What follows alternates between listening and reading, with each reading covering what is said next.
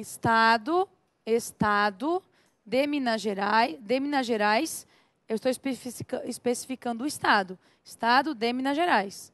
Agora, situado, comecei com o verbo, não pode ser aposto.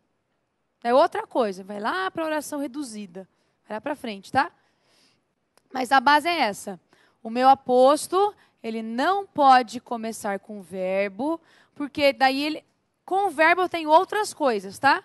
Oração adjetiva, tem outras coisas que começam com verbo. Então, a princípio, o aposto ele não começa com o verbo. O que, que é o vocativo? Vocativo, a gente só vai saber e vai entender que ele existe porque ele vem sempre, sempre. Sempre ele vem com pontuação, tá? E geralmente ele vai vir com as vir, com vírgula, tá? Ou ele vem isolado pelas vírgulas, ou vem, por exemplo, no começo da frase, vírgula. No final da frase, vírgula com vocativo. O que, que faz o vocativo? É o mais simples de todos, tá? Vocativo é como se fosse um chamado. Tá? Igual aquele filme assim, que parece aquela mulher que sai da televisão, assim, ó. Aqueles cabelões assim, ó. Que sai e chama a pessoa assim, o chamado. Mais ou menos assim. O apóstolo sempre assim, eu falo assim, ó. Por exemplo, sabe quando criança. É, meu filho agora tem nove, não faz mais isso, ainda bem, né? Mas quando era menorzinho, ele falava assim: Mãe, terminei. Estava no banheiro. Aí você tem que ir lá, limpar a bunda dele, né? Porque ele chamou você. Então, esse mãe, terminei. Esse mãe é meu vocativo. Então, ele chama. O que é o vocativo? Você chama alguém e diz alguma coisa. Ou dá uma ordem, ou fala algo, tá? Então, o vocativo é uma expressão que você sabe que existe. E eu só estudo junto com os termos acessórios porque ele vem com as vírgulas. Então a gente pode confundir com outras coisas que tenham vírgulas, tá? Mas a princípio ele é o mais simples de todos. Marquem lá que vocês não vão ter dificuldade com ele, tá? O vocativo ó, é o mais simples dele, você não precisa nem se preocupar muito em estudá-lo. Agora, aqui, ó, vídeo vejo que a gente tem toda a nossa árvore, como se uma, igual a árvore do crime, né? É um crime, né? Isso aqui, meu Deus do céu, quem inventou isso? Mas a ideia é fazer o quê? Entender tudo em relação a termos da oração. Diga.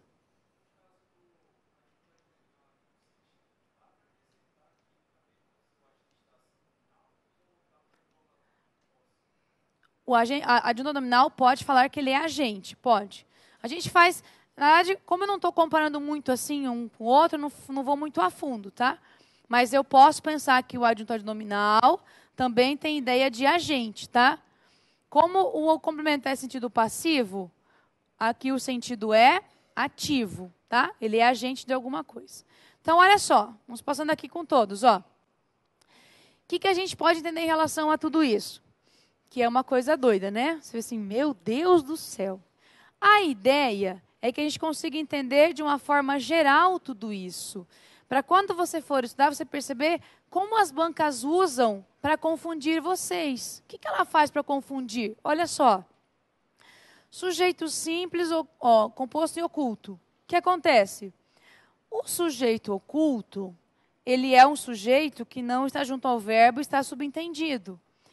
E o indeterminado não está lá porque ele não está ali. Eu não sei quem fez a ação. Então, a banca que ela faz? Ela gosta de confundir os dois, para você achar que é aqui ou aqui, tá? O inexistente, as bancas usam bastante a noção de concordância verbal colocam haver no plural, colocam assim, fazem dois anos, é faz dois anos. Então, elas usam muito isso daqui. Na ideia do predicado, o que eu tenho que saber muito bem? Eu tenho que conhecer que o predicado sempre começa no verbo, tá? Ó, predicado começa onde? Começa no verbo, tá? Para isso que serve meu predicado. Então, o predicado, ele se dá basicamente pela transitividade do verbo. É isso que eu tenho que saber, tá? Os outros, olha só. O objeto direto, ele é um objeto que não tem preposição obrigatória, mas eu tenho um momento em que tem preposição, que é o preposicionado. O indireto sempre tem preposição. Então, olha aqui. Aqui a banca pode confundi-los. Complemento nominal completa um verbo. é um verbo, um nome. Mas você pode confundi-lo com adjuntivo nominal.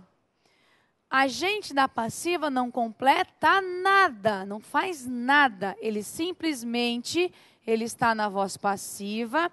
Por que, que ele tem esse nome de agente da passiva? Agente é porque ele faz. Faz o quê? Faz a ação do verbo que está na voz passiva. Por isso que tem esse nome, tá? Por isso que eu só vou ter agente da passiva na voz passiva. E o agente da passiva não completa nada. Ele simplesmente ele é quem faz a ação do verbo principal na voz passiva. E isso acabou. Não sai disso, tá? Então ele é bem restrito. Sempre que tiver uma construção na voz passiva, eu vou ter o agente da passiva, tá? Não é um termo obrigatório. Ele pode ou não aparecer, mas ele nunca completa nada. E olha como é que ele aparece. Sempre um termo preposicionado. De novo, preposição está aparecendo aqui, tá? Aqui no adjunto, ó, a preposição aparece na locução adjetiva. Olhe aqui o advérbio. O que acontece? Quando você tem uma locução adverbial, o que, que ela tem sempre? Preposição. Então, é mais um exemplo de que eu tenho um termo preposicionado. O que, que as bancas fazem muito? elas falam que a locução adverbial é complemento do verbo, objeto indireto. Então a banca confunde isso, tá? Aposto, a maioria das vezes é você saber distinguir o aposto de outras expressões que também são explicativas, tá? Não é só o aposto que é explicativa, tem outras, outras partes da gramática lá no período composto que também são explicativas. Então o que eu tenho que fazer aqui? Eu tenho que ter uma noção geral de tudo, tá? Para eu poder entender quando é ou quando não é. Então, essa ideia geral me ajuda depois a fazer assim: ah, por isso que aqui a banca confunde uma coisa com a outra. Ela faz muito isso. Quer ver um exemplo? No sujeito, primeiro, sujeito pode ser um termo preposicionado? Nunca, tá? Sujeito nunca vai ser preposicionado. Jamais nunca você vai ter um termo preposicionado, tá? E o meu objeto direto? O meu objeto direto é um termo que obrigatoriamente não tem preposição. Então, olha só. O sujeito vem sem preposição. E o meu complemento verbal direto? Também. O que, que as bancas gostam de fazer aqui? Um exemplo aqui, então.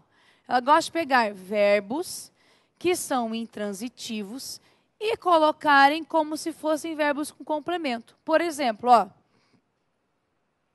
ocorreu um acidente hoje. Tá? O que, que ela faz aqui agora? Olha só. Se você olhar a frase e falar assim, ocorreu o quê? Um acidente. Ah, complemento do verbo. Esse é, e essa é isso que a banca quer que você faça. Agora, se você fizer o seguinte, coloque aqui acidente, coloque aqui acidentes no plural. Como é que a gente vai falar? Ocorreram acidentes. Ou seja, o verbo mudou porque eu mudei a palavra acidentes. Pergunta: um verbo pode ser flexionado por causa do complemento? Nunca, tá? Marquem lá, ó. Dica: verbo não se flexiona por causa do complemento verbal. Não existe, tá? Nunca um verbo vai no singular ou no plural por causa do complemento dele. O verbo só vai ser flexionado por causa do sujeito. Olha aqui. Verbo concorda sempre com quem? Com o sujeito e só. Não existe concordância do verbo com outra coisa a não ser com o sujeito. Então, se eu coloquei acidentes no plural, o verbo mudou junto, o que, que vai ser isso daqui? Isso aqui é sujeito ou é complemento? sujeito. Aqui é sujeito e aqui é sujeito. O que, que a banca faz? Ela induz você ao erro para você acreditar que isso aqui é um objeto direto. Sempre ela faz assim, ó. Ó, outra dica. A banca faz o que? Ela pega um verbo intransitivo e coloca o sujeito depois, tá? E ela fala que esse sujeito é objeto direto. É isso que ela faz. Ela muda a lógica. Então, quando eu tenho verbo intransitivo, é muito comum, ó. É comum você ter essa ordem. Verbo intransitivo mais sujeito, tá? Isso é muito comum a banca trazer, para que você acredite que você tem o quê? Um objeto direto. Por exemplo, ó, aconteceu um evento, tá? Existem dúvidas. Outro, faltam materiais, tá? É, restam oportunidades. O que, que a banca faz aqui? Ela pega tudo isso daqui e fala que é tudo complemento verbal. E não é. Isso aqui é sujeito, sujeito, sujeito, sujeito. Tudo isso daqui é sujeito. E a banca teima em afirmar para você que é um complemento verbal. E a gente, às vezes, cai na conversa da banca. E erra e nem entende por que errou. Tá? Porque é muito comum ela fazer isso. Como o sujeito é um termo que não tem preposição, e o objeto direto também não tem preposição, então eles são muito próximos. A banca confunde muito isso.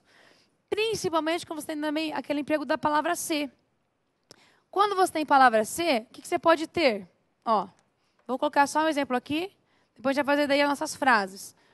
Palavra ser, você pode ter tanto a voz passiva quanto sujeito indeterminado. Então a banca vai confundi-lo, por quê?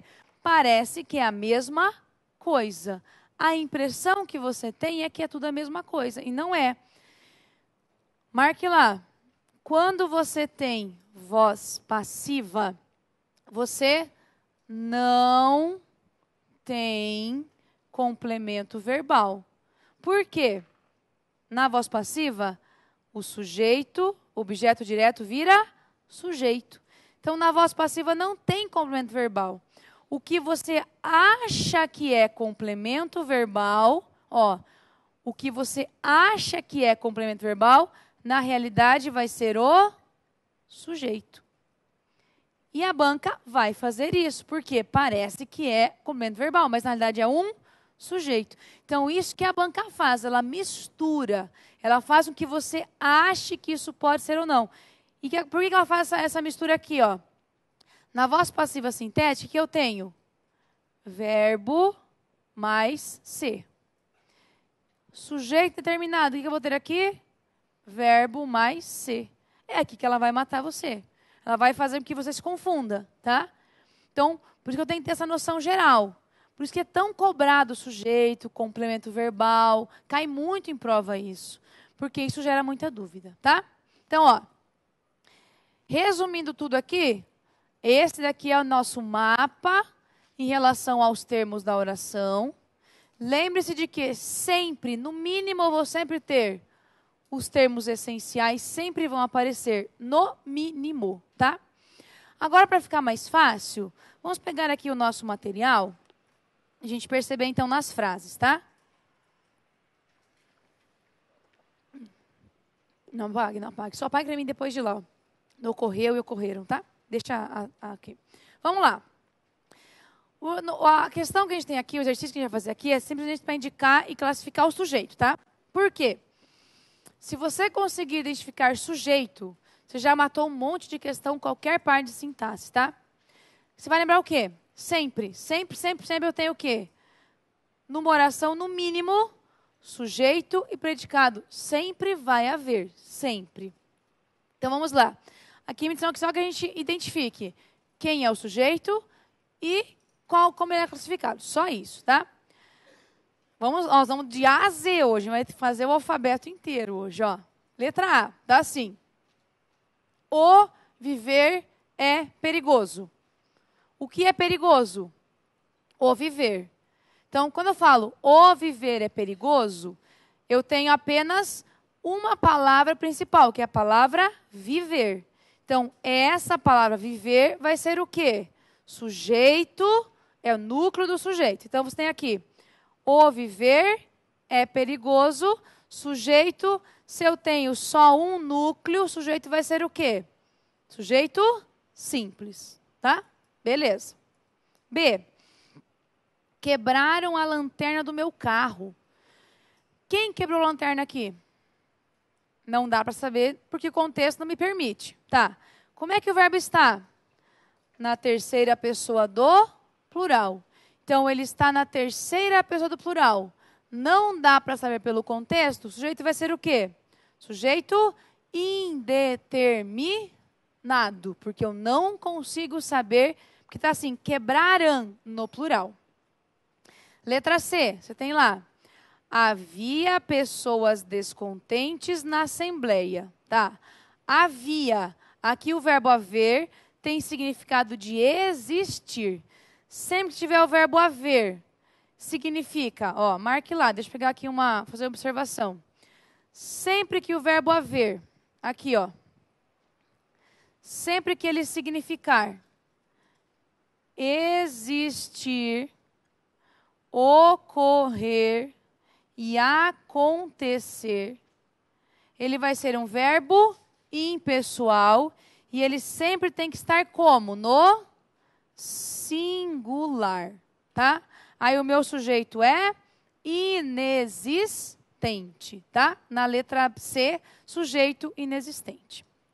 Vamos na D. Assistiu-se a uma cena desagradável. Então vamos lá. Você tem o verbo assistir. Assistiu-se. Assistir, palavra ser. E eu tenho depois do ser uma preposição, né? Que é esse a. O verbo assistir é assim. Quem assiste de ver algo, assiste a alguma coisa. Então, não vou assistir o filme, a menos que você vai fazer o filme, né? Eu vou assistir ao filme. Então, aqui você tem um verbo que é um verbo o quê? Verbo transitivo indireto mais a palavra ser. Então, meu sujeito é indeterminado, tá? Na letra E, choviam flores do helicóptero. Esse chover aqui é um fenômeno? Naturalmente chove flor? Não, né? Só chove chuva, tá? Então, não é fenômeno. Então, não está aqui, tá? Posso ter frases com sentido figurado? Posso, tá? Eu posso ter, mesmo que a frase seja figurada, eu vou ter a mesma análise. Então vamos lá. Aqui está fora de ordem, tá? A lógica é: flores choviam do helicóptero. Então, as flores aqui é o meu sujeito. Um núcleo, uma palavra apenas, o meu sujeito é simples, tá? Vamos na F escureceu cedo hoje. Escurecer é fenômeno? Não é? Porque você pode escurecer alguma coisa, mas aqui é estava claro, é de dia e agora ficou noite. Então, quando eu falo escureceu cedo, isso é um fenômeno. Fenômeno, o sujeito é inexistente. Vamos lá. Aí nós temos o seguinte: na letra G, esta comida não serve para consumo. O que não serve para consumo? Esta comida. O esta é um pronome, comida é o meu substantivo, tá? Então, esta comida não serve. Comida é meu núcleo do sujeito. Um núcleo só, sujeito simples. Na H, subitamente pararam todos, tá? A ideia aqui, parar, é que eu estava andando e eu parei. Então, aqui a frase está fora de ordem. Subitamente, todos pararam, tá? Da ação de você estar andando e parar. Então, nesse caso aqui, ó, eu tenho todos, está depois do meu verbo, mas ele é o meu sujeito, tá? Subitamente, todos pararam. Então, eu tenho todos, que é meu núcleo, um núcleo apenas, sujeito simples. Próxima. Aí eu coloquei aqui duas frases, de forma proposital, tá? Olha só. Estavam com fome. Eu sei quem estava com fome? Não, não sei, tá? Verbo na terceira pessoa do plural, sujeito é indeterminado. Tá. Aí na ou no ladinho eu coloquei estava com fome. Por quê? Eu sei quem estava com fome aqui? Não sei. Mas eu posso falar que o meu sujeito é indeterminado? Não. Por quê? Só vai ser indeterminado se o verbo estiver na terceira pessoa do plural. No singular, ele vem para cá, ó. O sujeito vai ser oculto. Mas não dá para saber, não importa. A regra é clara. Só vai ser indeterminado, a classificação dele só é essa, se ele estiver na terceira pessoa do plural. No singular, eu considero como sujeito oculto. Então, estavam no plural, sujeito indeterminado. Estava no singular, não sei quem é, mas só pelo fato de estar no singular, ele vai ser oculto, tá? E não determinado, e não indeterminado. Ah, Posso falar que o sujeito oculto, então, nessa frase estava, o sujeito é determinado? É. Sempre que tiver simples, composto, oculto, o sujeito é determinado, tá? Isso é classificação, não é o sentido, tá? Isso é classificação sintática. Beleza. Olha a outra. Cresce em Deus, tá? Quem crê, crê em alguma coisa. Que tipo de verbo eu tenho aqui? Verbo intransitivo. Só que eu tenho cresce em Deus.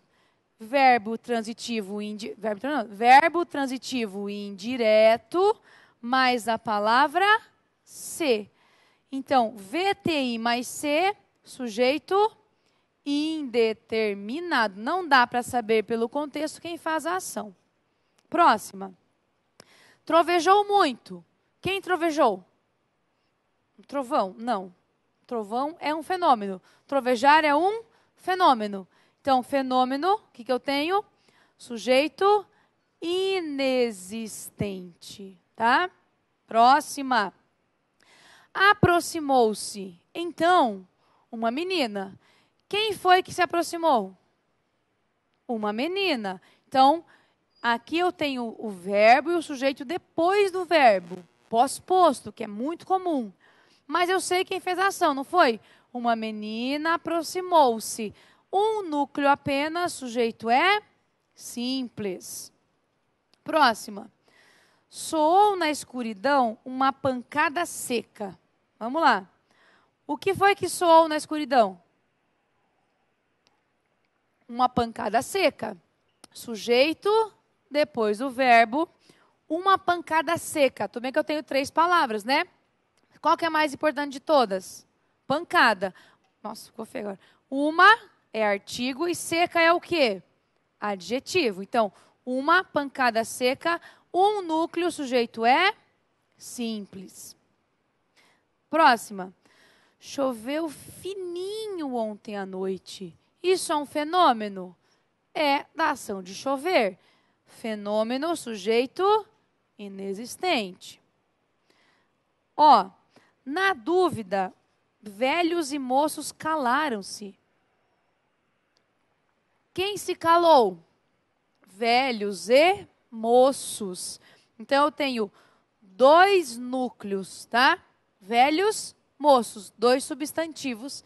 Então o meu sujeito é composto, tá? Próxima. Um vento triste assobia lá fora. Aqui sentido figurado. Quem assobia lá fora? Um vento triste, um núcleo apenas, sujeito é simples. Próxima. No lixo da feira, crianças garantiam o seu almoço. Quem garantia o seu almoço? crianças. Um núcleo, sujeito é simples. Próxima. Isto não é nada. O que não é nada? Isto. Posso ter um pronome como função de sujeito? Posso. Ah, mas não entendi a frase. Não importa, não tem que entender a frase. Você tem que olhar a regra. Isto não é nada. O que não é nada? Isto. Uma palavra como núcleo, sujeito é simples. Próxima. Estou aqui faz duas semanas. Tenho dois verbos, né? Estar e fazer. Estou aqui. Consegue perceber que seria eu estou aqui? Eu vou subentender, então seria eu estou aqui. Ele está subentendido por causa do verbo. Então aqui eu tenho o sujeito oculto. Agora, faz duas semanas. Quem faz duas semanas? Ninguém. Aqui é o verbo fazer com a ideia de tempo transcorrido. A gente vai para cá, ó. O verbo fazer, ele é assim. Sempre que ele indicar tempo transcorrido, ele vem como verbo impessoal, sempre fica no singular e ele é sujeito inexistente. Ninguém faz duas semanas. Posso flexionar e falar assim, ó, estou aqui fazem duas semanas? Não, acabei de falar que o verbo fazer, quando indica tempo transcorrido, é um verbo que vem sempre no singular e é um sujeito inexistente. Próxima. Ah, eu pulei uma, né? Vamos voltar. Ninguém ouviu sair. Essa aqui eu vou colocar no quadro. Tenho dois verbos, né? Ó, tá assim. Ninguém ouviu sair. Tá. Aí eu tenho que entender noção de período, noção de frase. Posso falar que esse o aqui eu estou falando de alguém? De alguém? Alguém que fez alguma coisa aqui? Esse o? Tá. Vou trocar esse o aqui, ó, e colocar um nome, tá? Sei lá, José. Como é que eu faria a frase se eu fosse colocar o nome da pessoa aqui? Ninguém. Eu não vou colocar José, né? Ninguém viu José sair, não seria? Se eu fosse trocar o o, eu colocasse o nome dele. Então, o que, que eu tenho aqui? Quem viu alguma coisa? Ninguém. Tá, mas tem uma palavra que é sujeito. Então, o sujeito é o quê? Simples, tá? Quem saiu? José. Então, o sujeito é simples. Posso pensar, então, que esse o está no lugar do sujeito? Tá. Então, aqui ele não é complemento do verbo, tá? Isso acontece em alguns tipos de casos bem... Não são é muito comum, tá?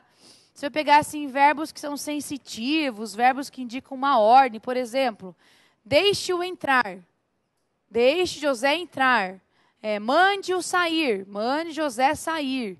Tá? São regras bem específicas. Então, se eu faço a troca, eu percebo que esse o, mais do que ser complemento do verbo, ele é mais sujeito. Diga. É assim, ó. Isso acontece com os tipos de verbos, tá? Verbos que são sensitivos, que a gente fala. Que eles vêm o verbo e mais o infinitivo de outro verbo. Sempre vai vir assim, tá? Então, por exemplo, ó. Mandei José sair, tá? Se eu olhar só até aqui, eu falaria que José é complemento do verbo, né? Mandei quem? José. Só que eu tenho mais um infinitivo. Então, quem que é mais importante, o sujeito ou o complemento do verbo? Sempre o sujeito. Os termos essenciais são sempre os mais importantes. Então, aqui, ó, esse José é sujeito desse verbo aqui. E eu posso fazer assim também, se eu quiser, ó. Mandei-o sair, tá? Também posso fazer isso. Continuo na mesma condição, tá? Esse daqui é o sujeito desse verbo. Então, nesse caso, eu, eu coloquei aqui, agora eu troquei para ficar mais fácil de vocês visualizarem. É a mesma coisa, tá? Qual a diferença? Aqui eu usei um pronome, aqui não. Mas eu sei que eu tenho, ó, alguém que faz a ação e alguém que faz a ação. Então, eu tenho sujeito para cá, sujeito para cá, tá? Então, o que acontece? Isso é um verbo bem. O verbo é transitivo direto. Se eu falar assim, ó, ninguém viu José, acabar a frase aqui. O que, que vai ser o José? Objeto direto. Quem vê, vê alguém. Pelo fato de eu colocar mais um verbo depois, ele se torna o agente do verbo. Aí prevalece a noção de sujeito. Ele deixa de ser o complemento e passa a ser o meu sujeito, tá? E eu me confundo, ele fica confundindo. Depende do verbo. Vai ser assim, ó, frases bem, bem pontuais, tá? Mande-o sair, é, deixe-o entrar. São alguns verbos que fazem isso. Deixar, é, mandar, ver nesse caso, mas tem que ser bem assim, ó. O verbo e o segundo verbo vem no infinitivo, tá? Ó, vai vir assim, ó. Desse jeitinho assim. Eu sei que esse, se eu trocar esse o por um nome, ó, Deixe José entrar. Fica mais fácil eu perceber, é a mesma coisa. Esse aqui vai ser o meu sujeito, tá? É uma coisa bem, bem doida, né? Mas é regrinha. Quem é que manda? Sempre o sujeito manda. Nunca o, os outros, tá? O sujeito sempre é o mais importante. Por quê? Os termos essenciais sempre são os mais importantes do que os outros, tá? Diga.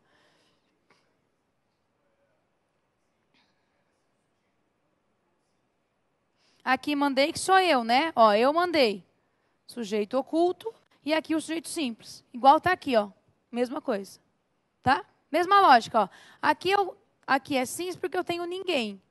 Aqui eu sei que mandei seria eu, né? Eu mandei, tá? Então tem essa lógica aqui. É, ó. Sujeito simples, ninguém viu. Sujeito simples, José sair. É isso mesmo. Eu tenho dois sujeitos. Quem são os sujeitos? Ó, eu só coloquei aqui para ficar mais fácil. Esse aqui é sujeito desse e esse é sujeito desse. Um termo como sujeito, um núcleo sujeito é simples. Então eu tenho sujeito simples, sujeito simples. Sujeito simples, sujeito simples, tá? Sempre desse jeito. Diga.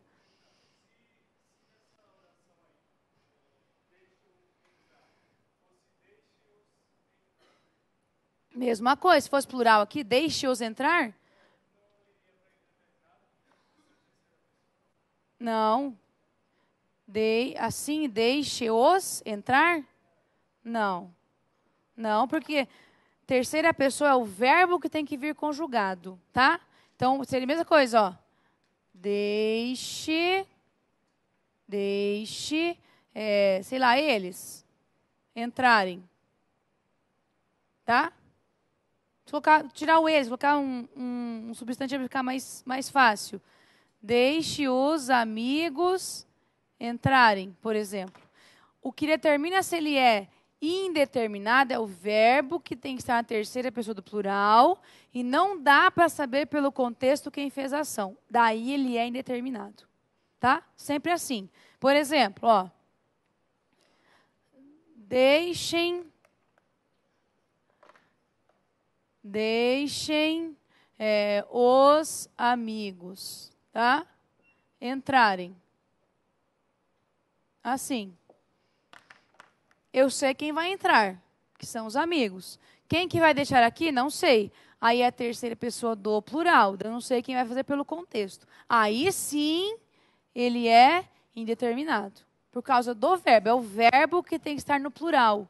Para eu indeterminar o meu sujeito. Tá? Diga.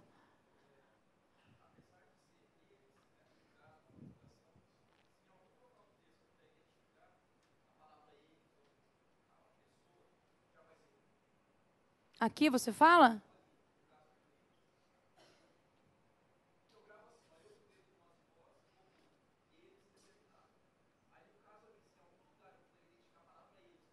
Sim, tá lá no plural, né? Tá aqui, ó. O verbo tá no plural. Você fala. Tá. Mas se eu olhar só a frase aqui, eu não sei quem que é o meu sujeito. Mas se eu olhar assim, ó, aqui está na linha 20. Ah, mas lá na linha 2 eu sei quem fez a ação dele. Aí é oculto. mesmo que seja, não importa qual seja. Você conseguiu identificar no texto, ó, isso é importante. Terceira pessoa do plural, somente se eu não consigo achar o referente. Se tem referente, sujeito é determinado, porque ele é oculto, tá? Então, ó, assim, ó. Se o verbo, marquem lá, na terceira pessoa do plural, tem referente, referente no texto, aí você desconsidere o sujeito determinado e vai fazer o quê? O sujeito vai ser sujeito oculto. Consequentemente, por ser oculto, é o quê? Sujeito determinado. Isso é importante, tá? Porque não é só. Você pode ter lá o seu referente bem longe do verbo. Está lá no começo do texto. Então, se eu tiver um referente para aquele verbo, mesmo que ele esteja no plural, mesmo que ele esteja no plural, na terceira pessoa, e eu achei um referente escrito no texto, ele passa a ser oculto e ele vai ser determinado, tá? Então isso é bem importante você perceber a diferença que eu tenho em relação ao sujeito. Então tem que olhar sempre a frase, o texto, é, a, a, o parágrafo, não só olhar a linha, tá? Tem o referente, ele é oculto e é determinado, tá? Próximo lá. É, havia muitos anos que não vinha ao rio. Havia muitos anos, indica tempo transcorrido. Sim, então tempo transcorrido, o verbo haver vai ser um verbo impessoal, sujeito inexistente. Aí, havia muitos anos que não vinha ao rio. Quem não vinha ao rio? Sei lá, Deus, né? Pode ser eu, pode ser ele. Só que o verbo está como? Vinha. Terceira pessoa do singular. Mesmo que eu não saiba quem é, ele vai ser oculto e o sujeito vai ser determinado. Mesmo que eu não saiba, mesmo assim ele vai ser oculto, porque só se fosse não vinham no plural para que ele fosse indeterminado, tá? Próxima. Por todas as firmas ele passou à procura de emprego. Quem passou? Ele. Está escrito, expresso. Não sei quem é esse ele, não importa. Tem um termo junto ao verbo? Tenho. O sujeito vai ser simples, tá? Mesmo que seja um pronome que eu não sei quem é, está junto ao verbo, o sujeito é simples. Próxima. Hoje são 20 de março. Quem são 20 de março? Ninguém. O verbo ser, quando ele indica data, hora, clima, ele vai ser um verbo impessoal, é um sujeito inexistente. E aqui eu vou dar um destaque. Olha, olha só. Vou colocar aqui, ó. Aproveitar aqui, ó. Vejam só. Aproveitar e colocar no, no cantinho aqui, ó. Hoje são 20 de março, tá? O que acontece aqui? Você tem nessa frase o verbo ser, que ele não é alguém que é 20 de março. Já sei que ninguém é 20 de março. O verbo ser aqui indica uma data. Então, ele indica a data. Se eu falar assim, é cedo, eu falo de tempo. Então, o que acontece aqui? Por que ele está no plural, mesmo sendo impessoal? O verbo ser tem uma particularidade. O verbo ser concorda com o predicativo do sujeito. Tá, mas como é que eu vou ter um. Aí fica aquela coisa bem estranha, né?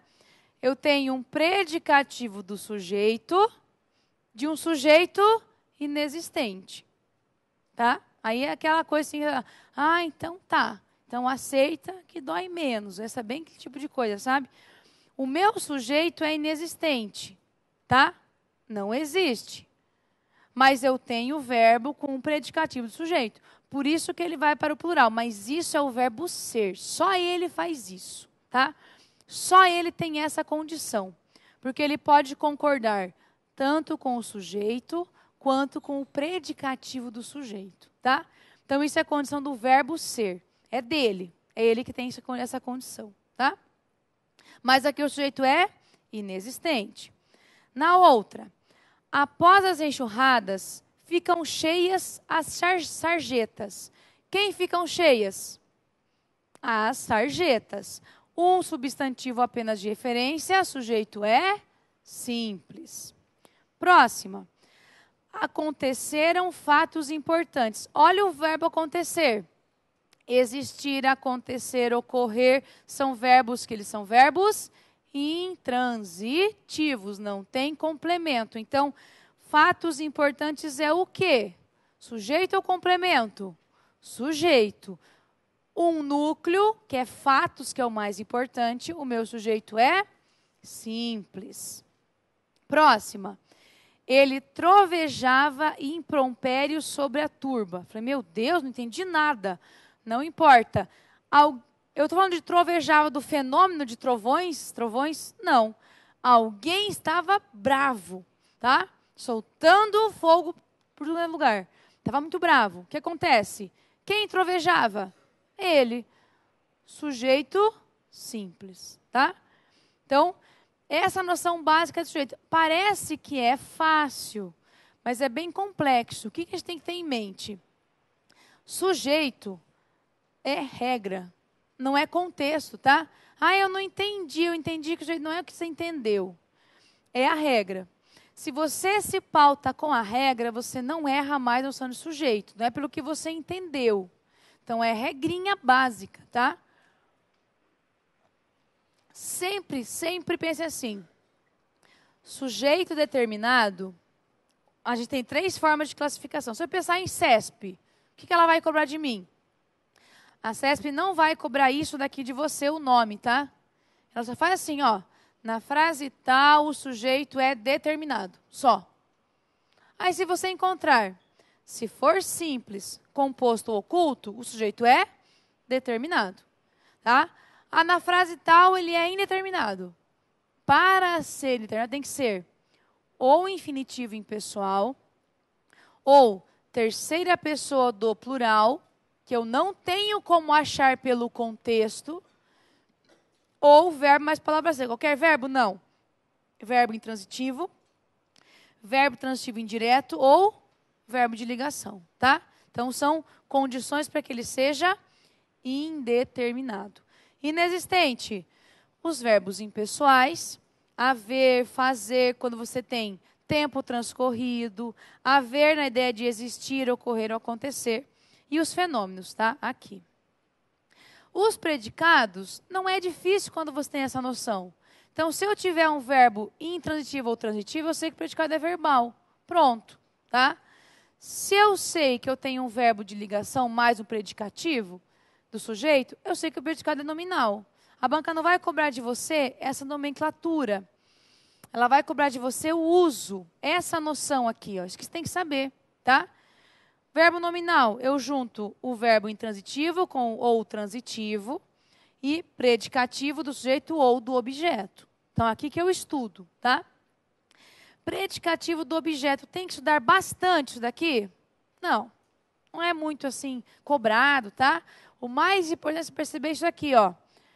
Esse aqui é importante, saber a diferença que eu tenho disso e saber a diferença de transitividade verbal. Isso é mais importante, tá? Complemento verbal, então, temos dois: direto e indireto. O que, você vai lembrar?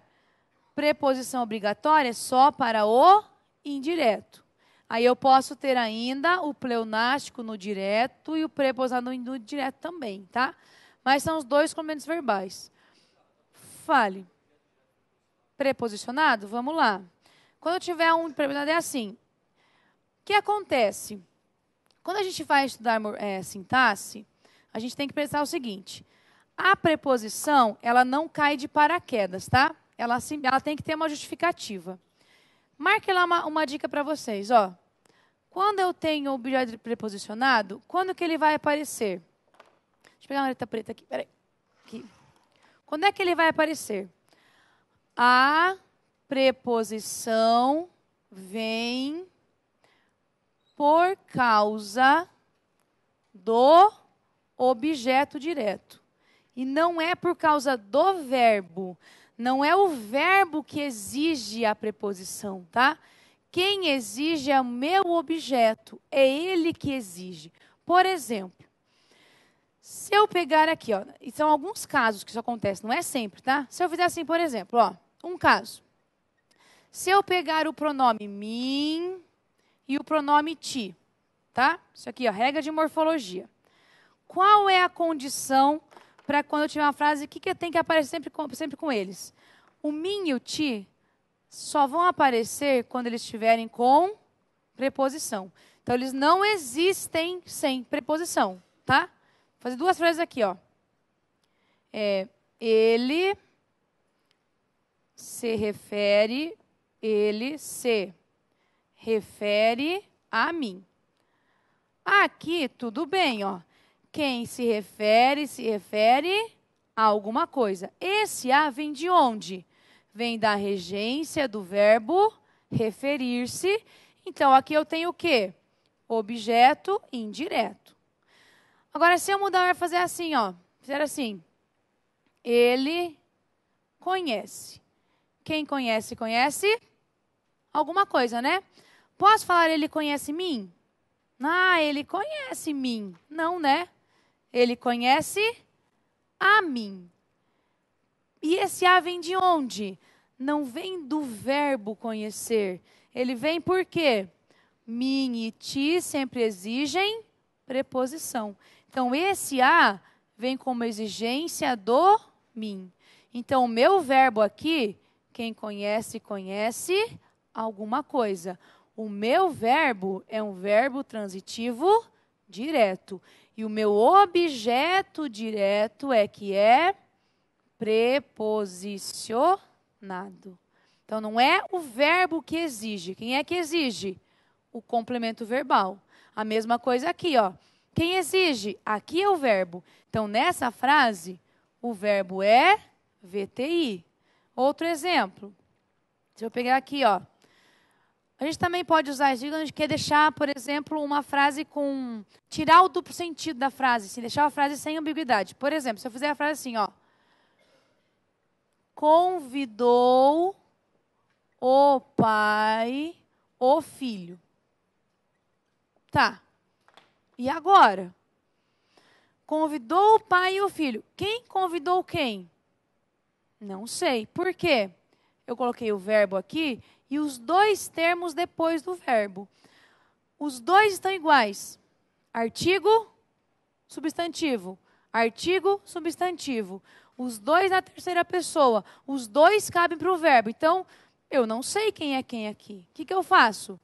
Se eu quero falar que o pai convidou o filho, o pai vai ser o meu sujeito. Eu não posso preposicionar o sujeito. Quem que eu vou preposicionar? O objeto tá? Nessa frase, o que vai acontecer? Quem convida, convida alguém. O verbo é VTD. O meu sujeito é o pai. E aqui eu tenho um objeto direto que foi preposicionado por causa da frase como ela foi construída. Então, aqui é um objeto direto, preposição. E se eu inverter a frase colocar na ordem direta? Não precisa. O pai convidou o filho. Se eu coloco na ordem direta, não preciso mais, tá? Aí fica sujeito, verbo transitivo direto, objeto direto. Não preciso mais. Outro exemplo. Em relação ao sentido. Quer ver? Se eu falar assim para você, ó. Eu bebi aquela água. O que significa? Bebi tudo. Gente, ó, tá vendo aquela garrafinha lá? Bebi tudo, bebi aquela água. Agora, vamos supor que eu não, eu não bebi tudo, só um pouquinho. Eu bebi daquela água. Ou seja, tá lá a garrafa, bebi daquela água lá, pode pegar, que lá tem um pouco para você ainda. Então, nesse caso aqui, ó, o meu objeto é direto, o verbo é VTD. Não tem preposição. Aqui, o que, que é o daquela? De mais aquela. Então, eu tenho um objeto direto preposicionado, o verbo continua sendo VTD, mas eu preposicionei por causa do sentido que eu quis dar ao objeto, tá? Então, sempre que eu tenho objeto direto preposicionado, o que, que eu vou lembrar? Ela vem por causa do objeto direto. É ele quem determina que eu use, tá? Por exemplo, posso falar que essa preposição aqui, eu posso tirá-la sem prejudicar a correção gramatical o sentido? Aqui eu não posso, tá? Aqui é obrigatório. Agora aqui, posso tirar a preposição é, mantendo a correção gramatical? Posso. Muda o sentido? Muda. Mas gramaticalmente valem as duas formas. Então, por isso que eu tenho que entender essa lógica. A preposição ela é obrigatória. Aqui, por exemplo, porque o mim e o ti exige a preposição. Aqui, aqui, ó, nesse daqui. Que quando eu falo, eu bebi aquela água, eu bebi ela toda. Eu bebi daquela água, eu bebi uma parte dela. Essa, essa é a lógica. Ó. Aqui quer dizer que eu bebi tudo. Tá? E aqui eu bebi uma parte. Vamos supor que está no restaurante. Olha só, eu comi aquela lasanha. Você comeu tudo, tá? Ah, não, eu comi daquela lasanha. Tá lá, viu um pedacinho? Eu deixei para você um pouquinho. É nesse sentido, tá? É o sentido que ele vai atribuir. Então, aqui é pelos valor semântico que eu tenho da frase, tá? Então, eu tenho sim, por isso que isso daqui não é do verbo, tá? O verbo continua sendo VTD. Quem vai ser preposicionado é o meu objeto direto.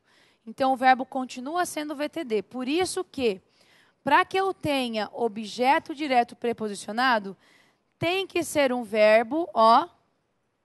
O verbo deve ser exclusivamente o quê? VTD. Tá? Ele tem que ser um VTD para que eu consiga preposicionar o meu objeto. Se for um VTI, vai ser VTI, não tem nada que eu reclamar aqui, tá? Então essa é a lógica do meu verbo transitivo direto. Tudo bem? Então, ó, fale.